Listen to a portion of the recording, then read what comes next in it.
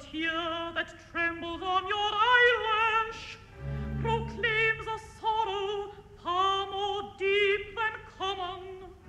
Confide in me, fear not, I am a mother. Yes, little buttercup, I'm sad and sorry.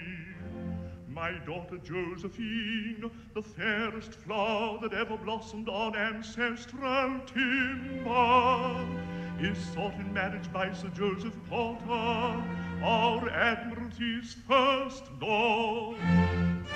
But for some reason, she does not seem to tackle kindly to it.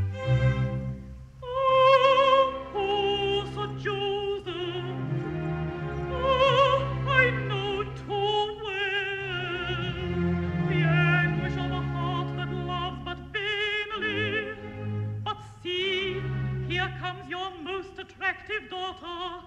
I go, farewell. A plump and pleasing person